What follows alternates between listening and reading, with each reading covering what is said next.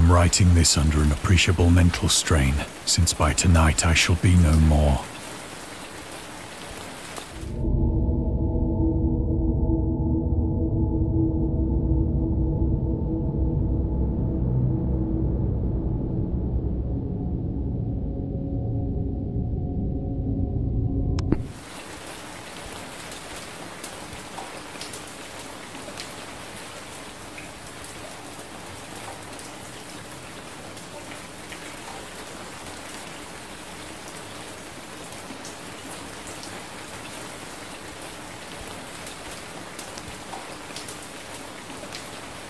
Penniless, and at the end of my supply of the drug which alone makes life endurable, I can bear the torture no longer, and shall cast myself from this garret window into the squalid street below.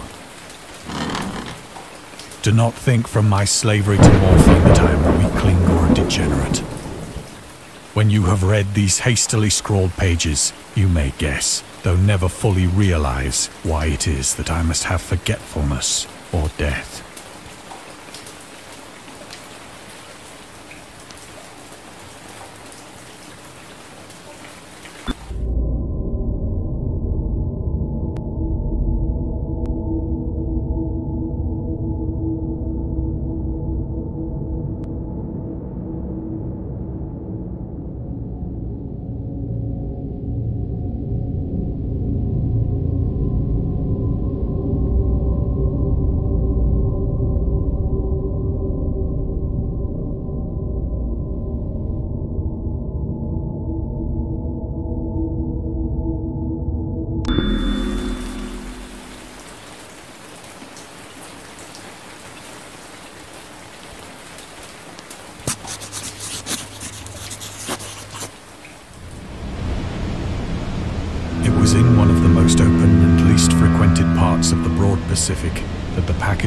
I was supercargo fell a victim to the German sea raider.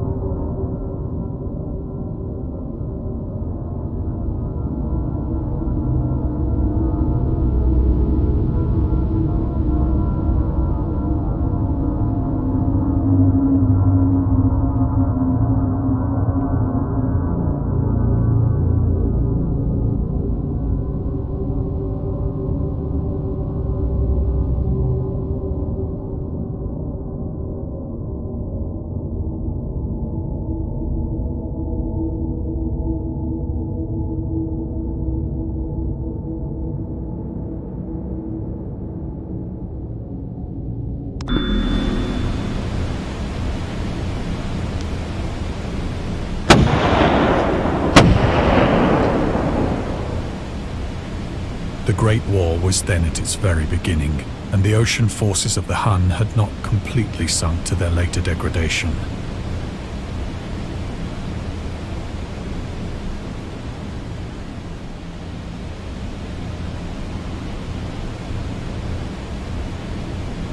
So that our vessel was made a legitimate prize, whilst we of her crew were treated with all the fairness and consideration due us as naval prisoners.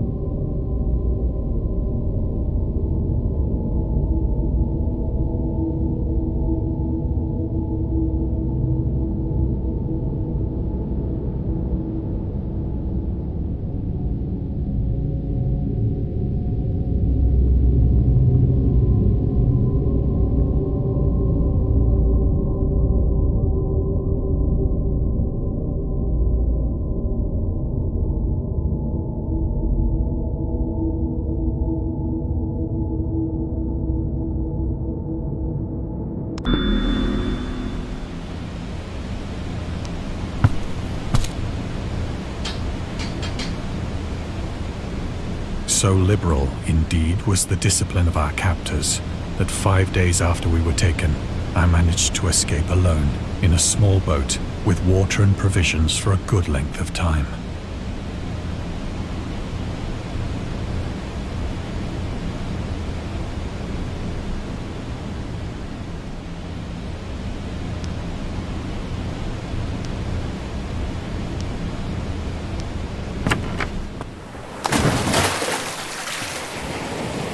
When I finally found myself adrift and free, I had but little idea of my surroundings.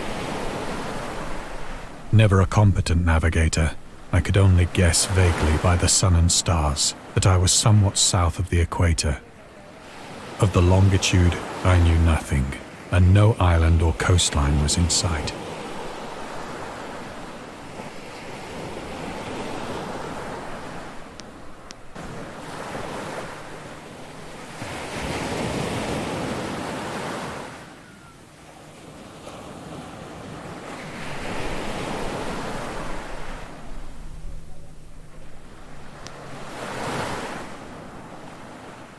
The weather kept fair, and for uncounted days I drifted aimlessly beneath the scorching sun, waiting either for some passing ship or to be cast on the shores of some habitable land.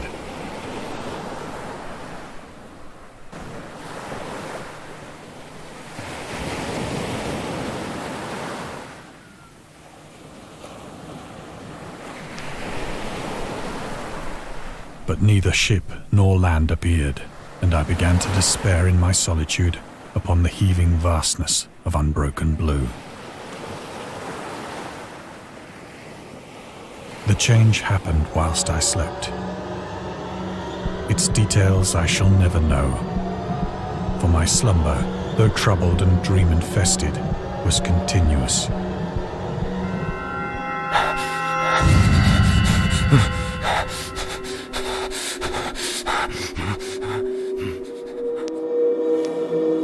Last I awoke, it was to discover myself half sucked into a slimy expanse of hellish black mire, which extended about me in monotonous undulations as far as I could see, and in which my boat lay grounded some distance away.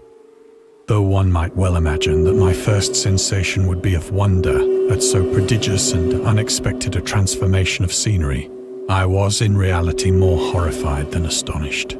For there was in the air and in the rotting soil, a sinister quality which chilled me to the very core.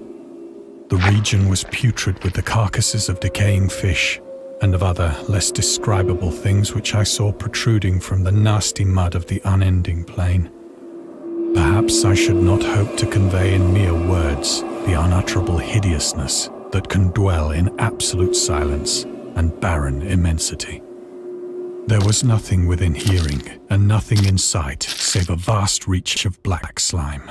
Yet the very completeness of the stillness and the homogeneity of the landscape oppressed me with a nauseating fear.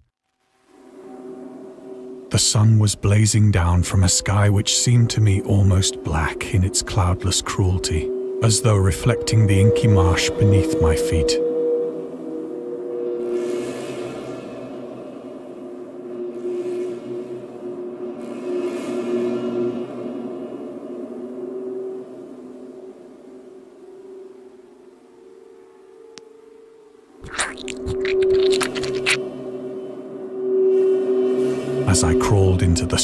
Boat, I realized that only one theory could explain my position. Through some unprecedented volcanic upheaval, a portion of the ocean floor must have been thrown to the surface, exposing regions for which innumerable millions of years had lain hidden under unfathomable watery depths. So great was the extent of the new land which had risen beneath me that I could not detect the faintest noise of the surging ocean straining my ears as I might. Nor were there any seafowl to prey upon the dead things.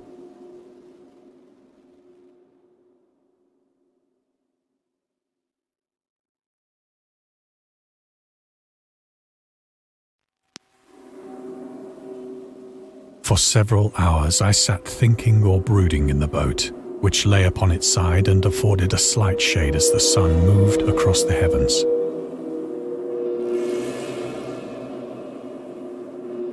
As the day progressed, the ground lost some of its stickiness and seemed likely to dry sufficiently for travelling purposes in a short time. That night I slept but little, and the next day I made for myself a pack containing food and water, preparatory to an overland journey in search of the vanished sea and possible rescue.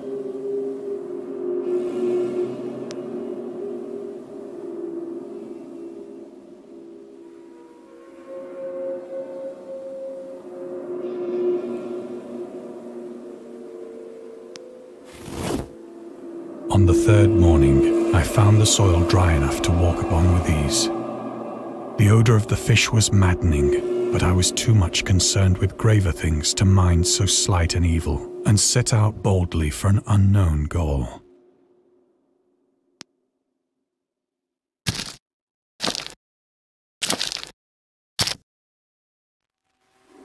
All day I forged steadily westward, guided by a faraway hummock which rose higher than any other elevation on the rolling desert.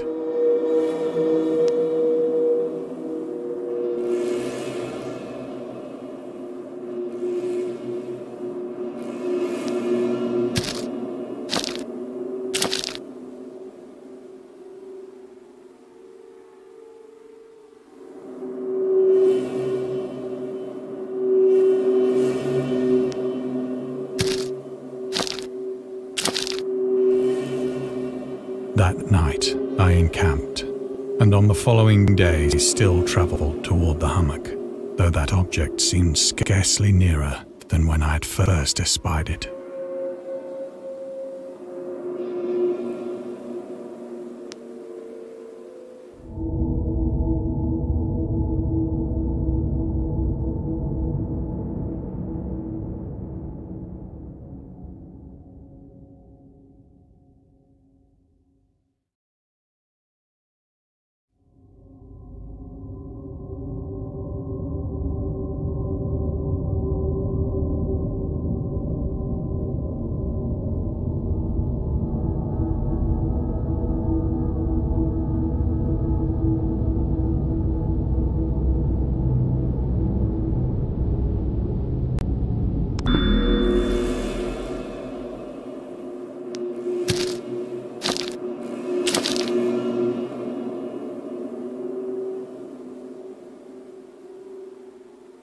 Fourth evening, I attained the base of the mound, which turned out to be much higher than it had appeared from a distance. An intervening valley setting it out in sharper relief from the general surface. Too weary to ascend, I slept in the shadow of the hill. I know not why my dreams were so wild that night, but ere the waning and fantastically gibbous moon had risen far above the eastern plain. I was awake in a cold perspiration, determined to sleep no more. Such visions as I had experienced were too much for me to endure again, and in the glow of the moon I saw how unwise I had been to travel by day. Without the glare of the parching sun, my journey would have cost me less energy. Indeed, I now felt quite able to perform the ascent which had deterred me at sunset. Picking up my pack, I started for the crest of the eminence.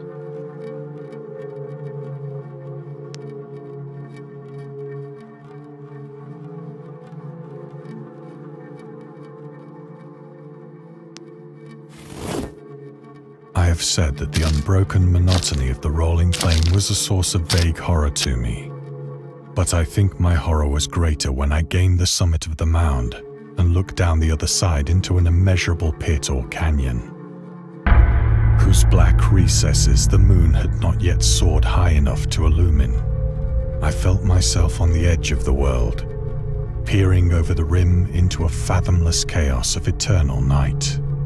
Through my terror ran curious reminiscences of Paradise Lost and of Satan's hideous climb through the unfashioned realms of darkness.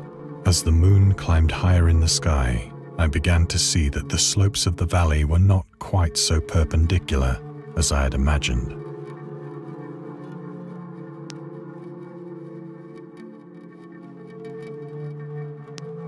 Ledges and outcroppings of rock afforded fairly easy footholds for a descent, whilst after a drop of only a few hundred feet, the declivity became very gradual.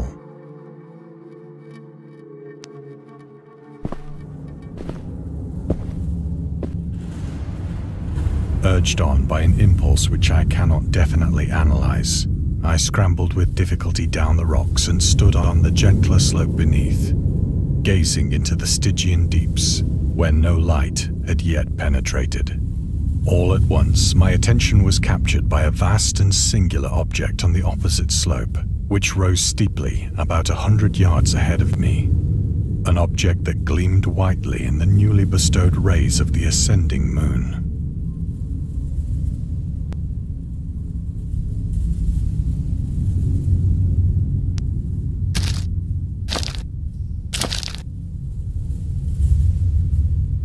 Was merely a gigantic piece of stone, I soon assured myself.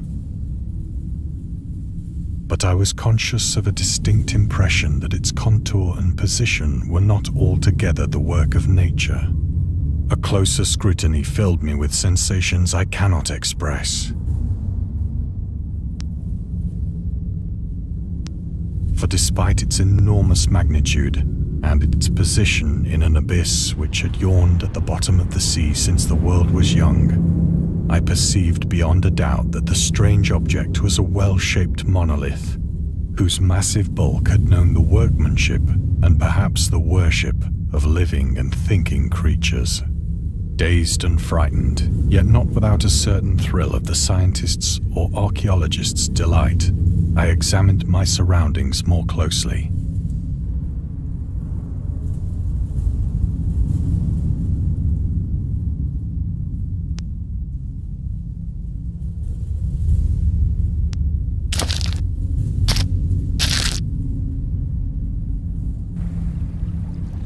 the moon, now near the zenith shone weirdly and vividly above the towering steeps that hemmed in the chasm, revealed the fact that a far-flung body of water flowed at the bottom, winding out of sight in both directions and almost lapping my feet as I stood on the slope. Across the chasm, the wavelets washed the base of the Cyclopean monolith, on whose surface I could now trace both inscriptions and crude sculptures.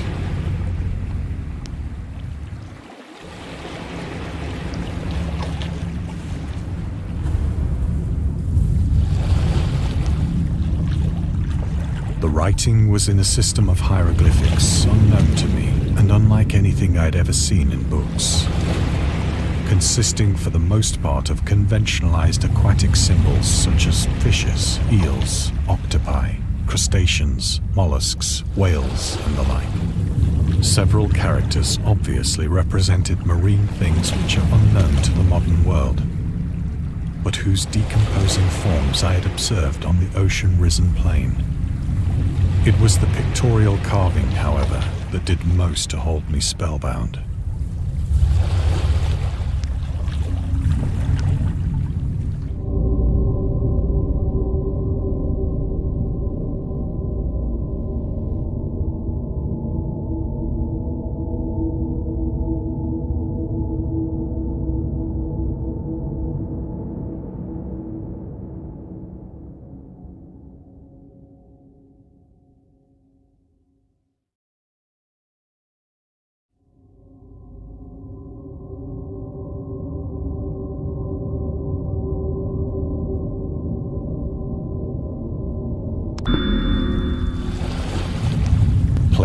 Across the intervening water on account of their enormous size were an array of bas reliefs whose subjects would have excited the envy of a Doré.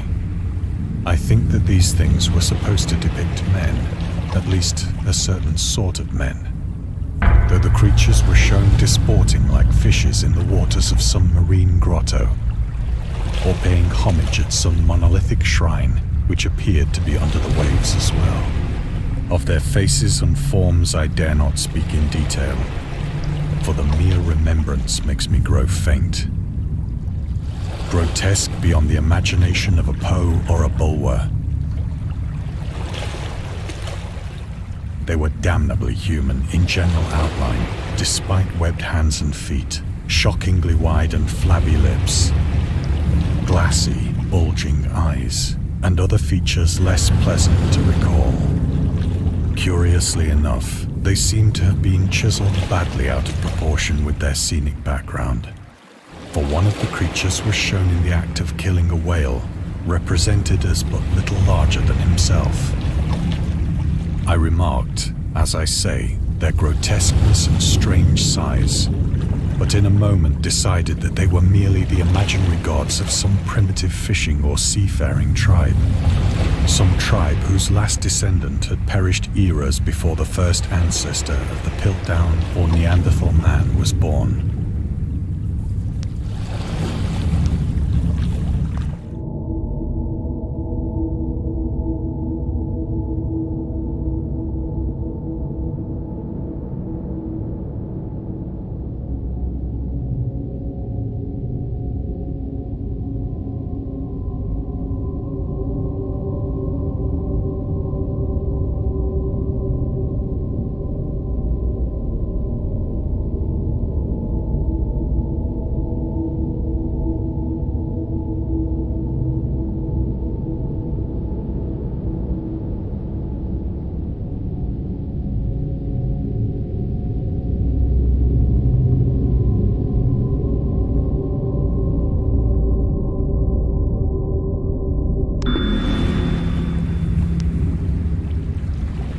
Awestruck at this unexpected glimpse into a past beyond the conception of the most daring anthropologist.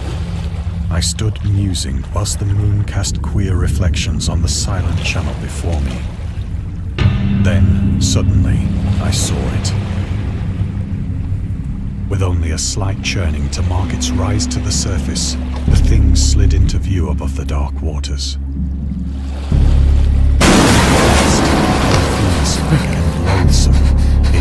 Like a stupendous monster of nightmares to the monolith,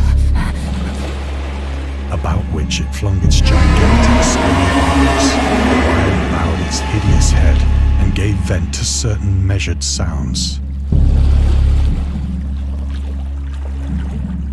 I think I went mad then. Of my frantic ascent of the sloping cliff, and of my delirious journey back to the stranded boat, I remember little.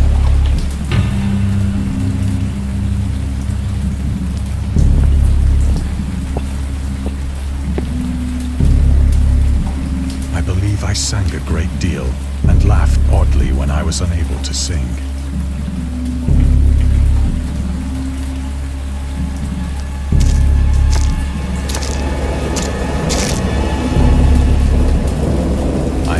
distinct recollections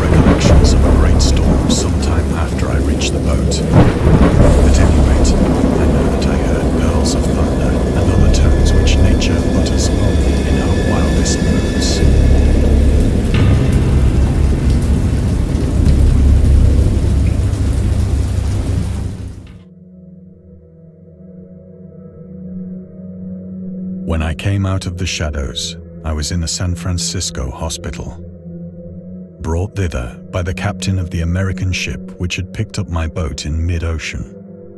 In my delirium, I had said much, but found that my words had been given scant attention. Of any land upheaval in the Pacific, my rescuers knew nothing.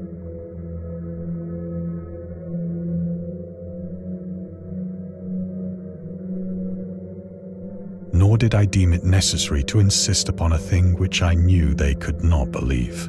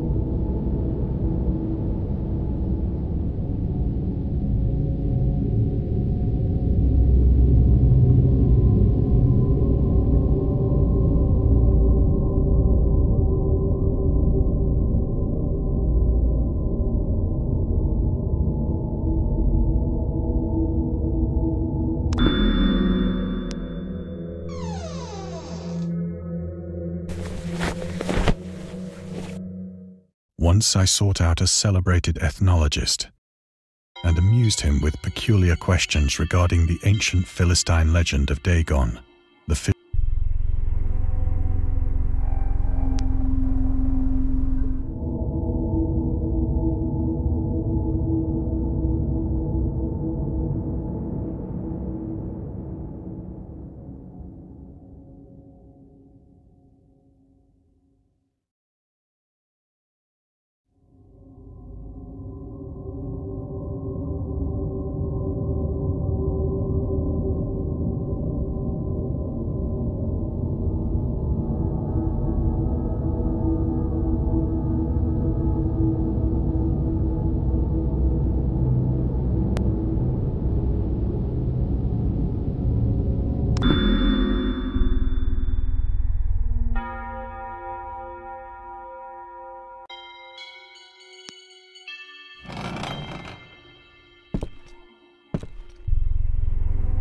But soon perceiving that he was hopelessly conventional, I did not press my inquiries.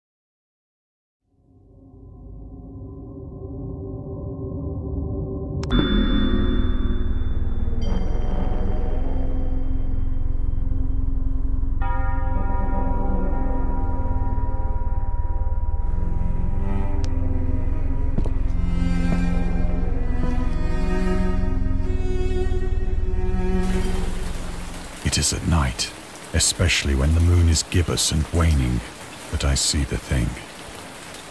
I tried morphine, but the drug has given only transient surcease and has drawn me into its clutches as a hopeless slave. So now I am to end it all, having written a full account for the information or the contemptuous amusement of my fellow men.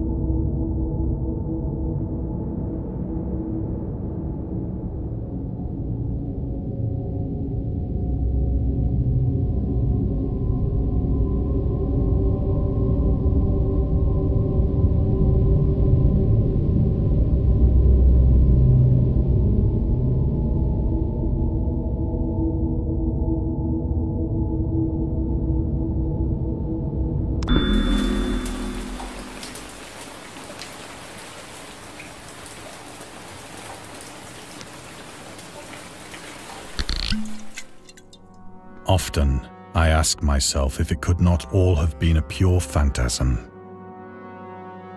A mere freak of fever as I lay sun-stricken and raving in the open boat after my escape from the German man of war. This I ask myself, but ever does there come before me a hideously vivid vision in reply. I cannot think of the deep sea without shuddering at the nameless things that may at this very moment be crawling and floundering on its slimy bed, worshipping their ancient stone idols and carving their own detestable likenesses on submarine obelisks of water-soaked granite. I dream of a day when they may rise above the billows to drag down into their reeking talons the remnants of puny, war-exhausted mankind. Of a day when the land shall sink and the dark ocean shall ascend amidst universal pandemonium.